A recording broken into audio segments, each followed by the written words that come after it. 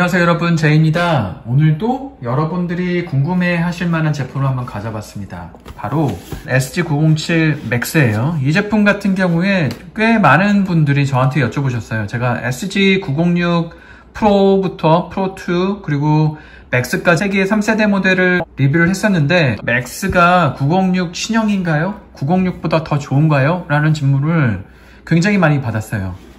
근데 요 SG907 같은 경우에는 그 JLL에서 브랜드 라인을 한 세 가지 정도로 가져가고 있습니다.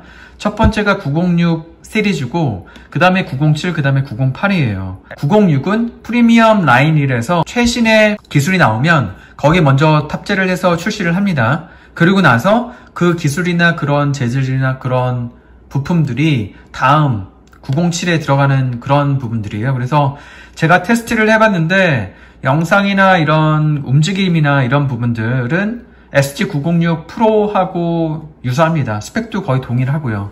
근데 가격이 좀 많이 싸졌어요. 129불 정도 해서 대략 우리나라 돈으로 한 15만원 정도 되는 가격입니다. 물론 무료 배송이고요. 이 제품은 카파고에서 지원을 해주셨어요. 한번 unboxing을 해보도록 할게요. 제품의 구성은 이렇습니다. 드론 본체가 있고요. 그리고 조종기가 들어가 있고 여분의 프로펠러가 들어가 있고요. 충전 케이블하고 설명서가 있는데 설명서는 한번 읽어보셔도 좋을 것 같은데 사실 저도 좀 노안이 와가지고 글씨가 너무 작아서 잘 안 보여요. 이런 거 같은 경우에는 기본 방법이 SG906 Pro랑 똑같으니까 제 채널에 906 Pro에 대한 조작 설명서가 있거든요. 그거 참고하시면 뭐 image following이나 아니면 GPS tracking 같은 거 그리고 360도 선회 비행 같은 부분들은 거기서 어떻게 하는지 보시면 될 것 같습니다. 전체적으로 보면 조종기 한번 먼저 볼게요. 조종기 많이 봤던 디자인이죠. 이거 SG906 Max에 들었던 거랑 똑같습니다. 이런 식으로 피게 되는 거고요. 겉면은 플라스틱인데 뭐 그냥 10만원대 가격으로 보시면 될 것 같아요. 전면이고요. 측면에 보시게 되면 측면에 이제 전원 버튼이 있습니다. 조종기에 배터리가 내장되어 있어서 안드로이드 5핀으로 충전을 하시면 됩니다. 요거 500mAh 정도가 되는 거고요. 측면에는 없어요. 요거 뒤쪽 보시게 되면은 여기가 이제 카메라 tilt고요. 얘는 더미 아무것도 안 합니다. 스피드 버튼으로 해서 이제 모터의 회전수를 빠르게 하실 수가 있어요. return to home 버튼이에요. 그래서 return to home 버튼을 눌러서 들어오는 거 아니면 신호가 끊겼을 때 그리고 배터리가 약하게 되면 드론이 GPS 처음 이륙한 그 장소로 돌아오게 되는 그런 기능입니다. one key로 이제 동영상을 눌러서 찍고 카메라 버튼이고 마찬가지로 이제 조종 스틱입니다. 얘는 자동 이착륙에 대한 버튼 SG906 Max부터 달라졌는데 GPS 버튼 이제 간단하게 여기 이렇게 눌러시게 되면 GPS를 끄고 킬 수 있는 부분들 그리고 요거는 headless mode로 간단하게 들어갈 수 있습니다. 요 버튼과 요 버튼으로 이제 칼리브레이션 할 수 있는 부분들인데 앱에서 그냥 하시는 게 더 편해요. 드론은 날개는 폴딩 방식이라서 이렇게 필 수가 있고요. 정면이고요. 그리고 측면, 후면, 위에서 봤을 때, 밑에서 봤을 때입니다. 짐벌 캡은요, 옆에를 눌러줘서 누른 후에 빼줘야 빠지게 됩니다. 3축 gimbal이 들어갔고요. 우선 뭐 크기를 먼저 본다라 그러면 가로 세로 높이가 26.5 그리고 세로 24 높이 한 6cm 정도가 됩니다. 무게는 319g이에요. 319g 정도가 되고 어, 배터리 같은 경우에 배터리 탈착은 여기를 눌러서 사이드를 눌러서 들어가게 됩니다. 배터리는 7.6V 2600mAh가 들어가 있고요. 비행은 25분 정도가 됩니다.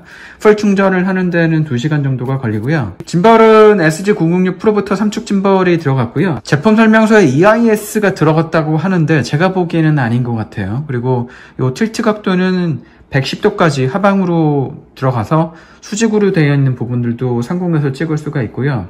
어, 카메라는 4K가 찍히고 영상은 2K까지 찍히게 됩니다. 이미지 센서는 3.2분의 1인치 CMOS 센서가 들어가 있습니다. 모터는 뭐 고급형에 들어가는 내구성이 좋은 brushless 모터 당연히 탑재가 되어 있고요. 밑에 보시게 되면 이제 센서가 있고요. bottom 렌즈가 있어요. 얘 같은 경우에는 720p 화질이라서 제가 보기에는 거의 사용 안 하는 게 좋다라고 생각을 하고 있습니다. 비행은 똑같아요. surrounding shooting 360도 이제 돌아가면서 피사체 중심으로 찍는 거 그리고 어, route planning이라고 그래가지고 지도상에서 띡띡띡 누르면 얘 가는 거. 그 다음에 image following은 어, 3, 1에서 3m 사이에서만 가능하고요. 그리고 제스처 픽처 같은 경우에도 3m, 1에서 3m 안에서 뭐 V를 하거나 뭐 손바닥을 올리거나 할 경우에 되는 거고요. GPS 팔로잉은 30m 기준으로 작동이 됩니다. 영상은 제가 해봤는데 많이 좋아졌어요. 혹은 SG906 프로 때보다 좀 더 좋아지지 않았나? 아마 906 맥스부터 UHD가 탑재가 됐다라고 하는데 그때부터 좀 좋아진 것 같고요. 실제 영상을 보시더라도 아마 밑에 젤로 현상 같은 거 거의 안 보이실 거예요. 그래서 저렴한 가격에 뭐 입문하시는 분들이 요런 거 가지고 테스트 하시는 것도 좀 나쁘지 않다고 생각을 해요. 뭐 제가 가격 대비 괜찮다라고 말씀을 드리는 거지 요런 드론이 사실 이미지 센서도 작고요. 예를 들면 최근에 리뷰했던 피미민이나 뭐 DJI 매빅 미니하고 비교할 부분들은 아니에요. 사실 걔네들은 가격대가 뭐 50만원, 70만원대 그런 드론이고 얘는 끼케야 지금 15만원짜리이기 때문에 10만원대 드론 치고는 나쁘지 않다. 그리고 입문용으로 부담 없이 날리기에 좋다라고 말씀을 드리는 거예요. 실제 영상은 제가 직접 찍어서 보여드릴 테니까 한번 봐주세요. 실내에서 비행할 때는 GPS를 당연히 꺼야 되고요. 우선 페어링하는 단계부터 알려드리도록 하겠습니다. 전원 버튼을 눌러주고요. 전원이 켜집니다. 그러면 그때 이쪽에 있는 전원 버튼을 올려주세요. 그러면 지금 모드 1이에요. 왜냐하면 GPS가 지금 잡히지 않기 때문인데요. 여기서 GPS 버튼, GPS 버튼 여기를 눌러주게 되면 여기 ON에서 OFF로 바뀌게 됩니다. 그러면 이 상태에서 조종기하고 드론은 pairing이 됐고요. 드론하고 연결을 시켜 주셔야 돼요. 그러면 설정에 들어가게 되면 와이파이가 있고요. 와이파이에서 XL Max 5G라는 게 있습니다. 그러면 얘를 선택을 해 주셔야 돼요. 그러면 여기서 이제 XL Max하고 연결이 된 상태예요. 그러면 드론하고 이 앱하고 휴대폰하고 연결하는 방식이 와이파이지 와이파이랑 인터넷이랑은 전혀 상관이 없습니다. 그러면 와이파이가 휴대폰하고 드론하고 연결된 상태에서 세일 프로라는 앱을 동작을 합니다. 그러면 첫 번째 중국어로 보이실 거예요. 그러면 여기 세 번째 있는 거를 클릭을 해주시고 영어로 바꿔주시면 영문으로 보실 수가 있습니다. 비행하시기 전에 이제 ready를 눌러주시고요. 두 가지 칼리브레이션을 하셔야 돼요. 이게 이제 기체 수평 수직 칼리브레이션을 먼저 해야 됩니다. 그때는 평평한 곳에 드론을 놓은 상태에서 칼리브레이션을 눌러줘요. 그러면 수평으로 돌리라는 게 있어요. 그러면 여기서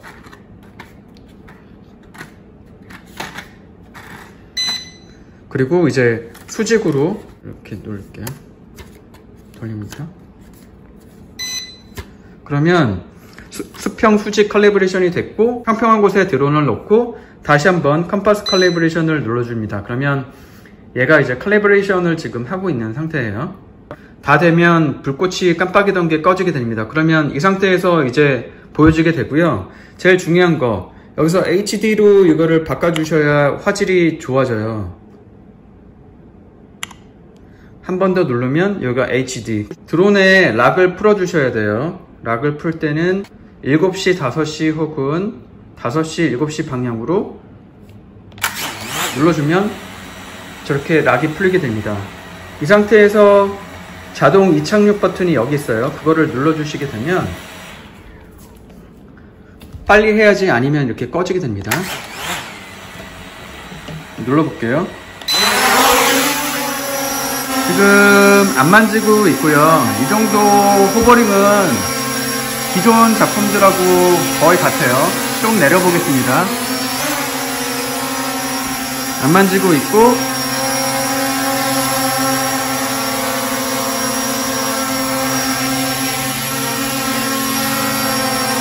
잘 되고 있습니다. 드론을 처음 하시는 분들은 실내에서 비행하는 것은 사실은 건정하지 않습니다.